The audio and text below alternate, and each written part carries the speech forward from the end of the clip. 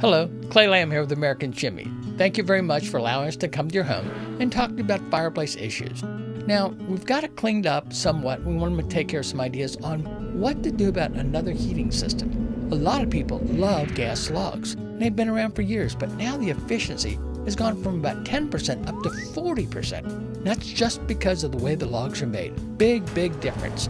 And that's a good way of doing it. They also come with a remote control so you can just flip it on, go on about your way, or just raise it light. You can raise up the flame just a little bit to really enjoy that. Just turn them on and enjoy your evening. Now, another thing you might want to consider is a line called Enviro. These are called direct beds, a little more expensive, but what an investment. They actually are a little mini furnace in your fireplace area. Remember, this is zone heating. You're trying to heat up a specific area of your home. A lot of people do this at night while they're watching television or just YouTube surfing or whatever. They're actually just going to get on and flip that switch on, enjoy the fireplace, read a book, and go about their way.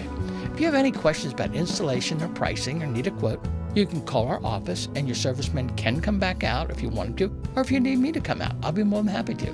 Clay Lamb, American Chimney, and we'll see you on the rooftop.